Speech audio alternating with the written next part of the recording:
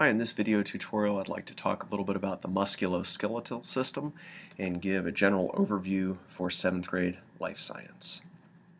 The first part of the musculoskeletal system that most people are familiar with are bones or the skeleton. And the skeleton does several things. It provides shape and support for your body. It provides a way that your body can move. Muscles pull on bones and therefore create the rigid structures that move. It provides protection your skull protects your brain and your rib cage it protects your lungs and heart. It also is where blood cells are produced and it provides a place to store minerals such as calcium. Let's talk about bones first. So as far as bones go, uh, from the outside they look somewhat solid, but they're really not. This outside uh, part of the bone is called compact bone, and it's very dense. And you can see that compact bone right over here. This is the head of a femur from uh, that's someone's thigh bone. And you can see the compact bone, it's very thick. In here is spongy bone, and spongy bone has a lot of spaces in it, and that helps it be strong yet lightweight. And you can see the spongy bone right over here. And then in the very middle is bone marrow. You can't quite see the bone marrow over here, and that's where blood cells are produced and those are the, the, overall the main three parts of bone. That allows bone to be very strong, yet at the same time very lightweight. As far as muscles go, there are three types of muscles. There's skeletal, smooth, and cardiac. Skeletal muscle is the kind of muscle that is attached to your skeleton. It's voluntary, so you can control it, and it pulls on bones and helps you move. Smooth muscle is found in your internal organs, mostly in your digestive system, your uh, stomach, small intestine, large intestine, and it's also in the lining of arteries. And it can contract or relax involuntary. And then cardiac muscle is found in your heart, and it's involuntary as well, so you can't control it. You can see a whole bunch of skeletal muscles right over here on this diagram of an arm. Here's a skeletal muscle right there, and that muscle would then be attached to a tendon that's then attached to the bone and it can pull or contract and then move the person's arm.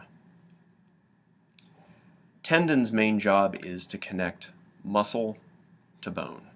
Here on a leg you can see someone's Achilles tendon and the Achilles tendon is connected to muscles on the back of the leg so that when that muscle contracts it then pulls on the tendon and the tendon is connected to the heel bone and it then moves the leg and the foot in someone's arm, you can see all these muscles through the arm, and as they contract, they then pull on the tendons that extend up through the hand, and they will pull on the fingers and cause the arm to move. So tendon's job is to connect muscle to bone.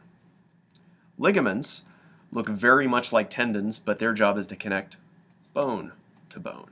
So here we have a knee, and right up here you can see the femur, and down here's the tibia, and inside it you have some ligaments. There's one and there's one.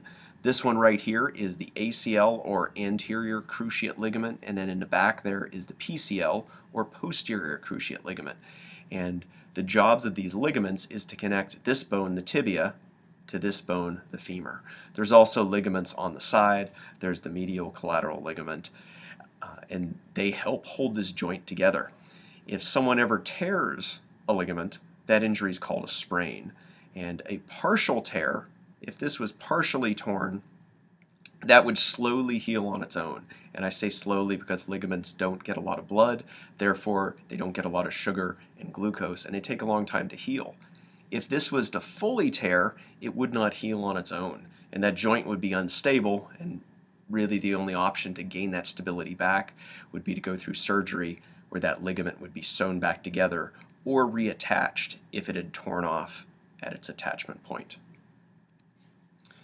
Cartilage is the last thing I'd like to talk about briefly, and cartilage can be found on the ends of bones. So here's the femur, and there's a layer of cartilage on the end of the femur, and then there's also some cartilage in between the femur and the tibia.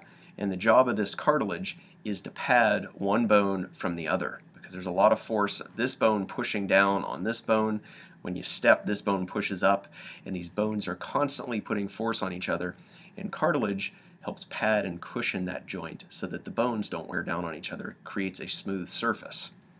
The most probably one of the most common injuries to cartilage, is that it can be torn, and if there's a little tear in it, that can create inflammation and pain and discomfort in the joint.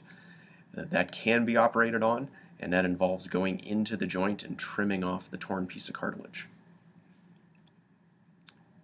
All right, just an overview here. We talked about the main parts of the musculoskeletal system. Bones, which really create the rigid framework that everything else uh, uses. Muscles pull on bones, allowing us to move. Tendons connect muscles to bones so that when the muscle contracts, it pulls on the tendon, the tendon pulls on the bone, and you move. Ligaments connect bones to bones by holding joints together. And cartilage can be found inside the joint, so it pads the ends of bones and cushions them. Uh, hope this was helpful. And if you'd like more in-depth information on the musculoskeletal system, please take a look at one of my other video tutorials or take a look across the internet. There's a wide variety of information.